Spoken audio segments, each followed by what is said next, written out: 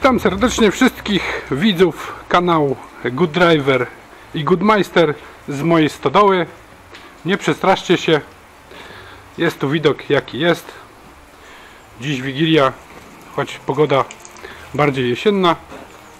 Postanowiłem nagrać jeden wspólny film dla e, obydwu tych kanałów, dla wszystkich widzów. Po co tutaj jesteśmy?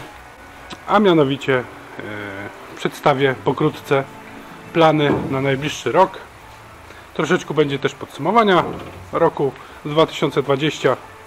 Przy okazji, na samym początku, życzę wszystkim widzom wesołych świąt, zdrowych, spokojnych, może szczęśliwego nowego roku, jeśli się nie będziemy widzieć. I co my tu mamy? A tutaj może zacznę od tego, co to jest. Co to jest? E, To jest może z tej strony podejdę. Y, To była buraczarka tak zwana, czyli maszyna do rozdrabniania buraków pastewnych, e, które następnie podawały się bydłu, e, które hodował moje, mój ojciec zawodowo, był rolnikiem praktycznie przez całe swoje życie i karmił w ten sposób bydło i trzodę chlewną uprawiał, uprawiał hodował produkcyjnie. E, Co z tego będziemy robić? Na pewno nie będziemy robić e, rozdrabniarki do buraków, gdyż obecne rolnictwo stosuje już zupełnie inne technologie, a mianowicie ten stół mi się przyda. Przyda mi się do e, przecinarki do metalu, tarczowej przecinarki do metalu. Film jest na kanale Goodmeister. E, Dla ciekawostki dodam, że dotarł do 107 krajów na całym świecie, więc jestem mega, mega e, z tego powodu dumny.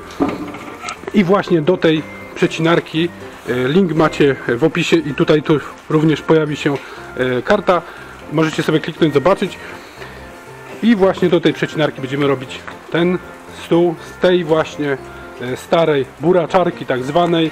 Mamy konkretny e, kątownik, bodajże to jest czwórka, o ile się nie mylę, jest dosyć gruby. Ta konstrukcja jest cała dobrze pospawana. E, Jest e, na dole, że tak powiem, również e, połączona. Tutaj mamy blachę. Nie wiem, czy tą blachę nie zlikwiduje, czy nie. Zobaczymy jeszcze. W każdym bądź razie e, jest bardzo dobry dawca na stół, e, gdyż ta e, przecinarka waży myślę, że za 70 kg, więc coś konkretnego pod nią trzeba zastosować. Także tym się zajmie Goodmeister e, na pewno w najbliższym czasie, więc e, tutaj mamy robotę. Co to jest? To jest dachówka z starej stajni, aktualnie warsztatu.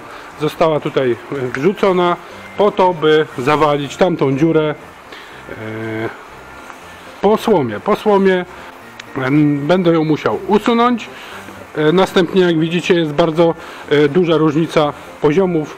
E, Tu mamy tyle, tam jest nagle zapadlisko, więc jak to wszystko wybiorę, stworzy się tam jeszcze większy dołek i to wszystko, co tu jest, pójdzie w ten dołek i e, jeszcze będzie pewnie mało, jeszcze trzeba będzie pewnie dowieść po to, żeby w miarę się zrównać e, z poziomem tutaj na środku e, tej stodoły, żeby mniej więcej e, równy poziom był również tam.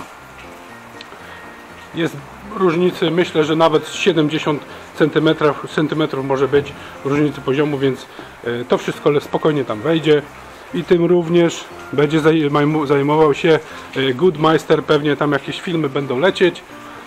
Wszystko po to, by kiedyś, być może jeszcze w tym roku, przynajmniej będę się starał rozpocząć remont tego oto sprzętu, czyli Mercedesa e, Mercedes-Benz 406D rocznik 74 z tego co pamiętam.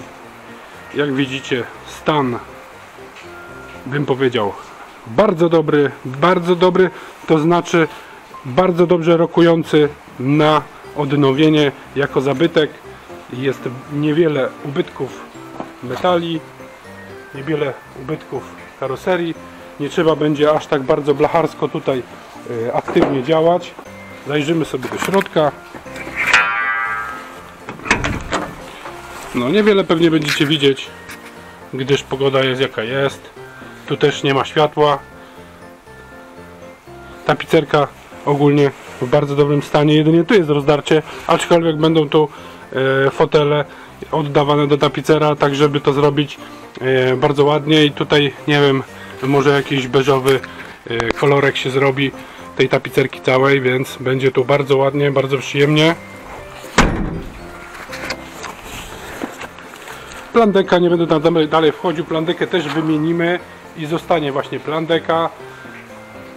Pewnie trzeba będzie coś uszyć na wymiar, żeby, e, no, żeby to pasowało, bo na pewno e, takiego, takiego rozmiaru jakiegoś standardowego nie, kupię. Może jakieś logo rzucimy. Także jest co robić. Myślę, że tutaj jest bardzo dużo pracy przy nim. Bardzo, bardzo dużo pracy. Więc e, będzie co robić i będzie na pewno materiał na kolejne filmy. I co? No właśnie potrzebuję tutaj e, tą stodołę e, do Mercedesa. Mercedes się tam nie mieści, gdzie jest traktor, gdyż jest po prostu za wysoki, a tu nie chcę nic e, demontować, obcinać. Tym bardziej, że tak mm, ten stelaż tej zabudowy nie da się zdemontować.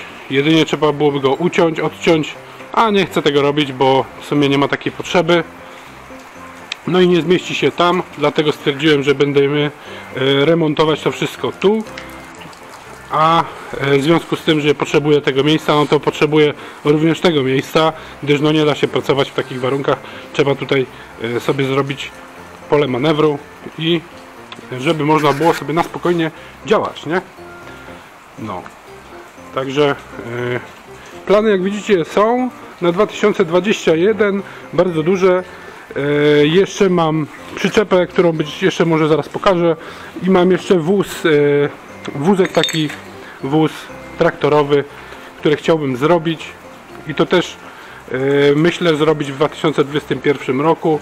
Także naprawdę tych projektów mam sporo zaplanowanych. Będziecie uczestniczyć również ze mną. Mam nadzieję wspierać mnie, subskrybować oczywiście, lajkować, a to jednak cieszy, że docieram jednak do e, różnych zakątków świata i przyjemnie się to ogląda, mam nadzieję. Także na dzisiaj to wszystko. Jeszcze raz wszystkiego dobrego i zapraszam. Cześć. Obiecałem to i pokazuję. Przyczepa Sanok też coś koło 40 lat. Lata 70. No i stan jak widać. E, opony wszystkie oczywiście do wymiany. Spękana guma, zniszczona od środka też e, różne tam e, uszkodzenia. Trochę prostowania, trochę spawania, wymiana na przykład tutaj całej tej, całego tego profila.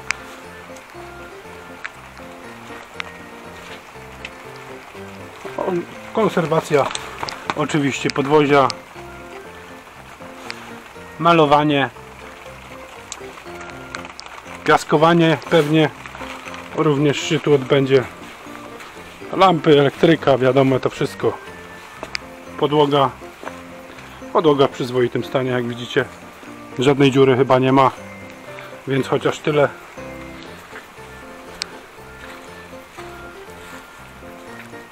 Więc nudów nie będzie.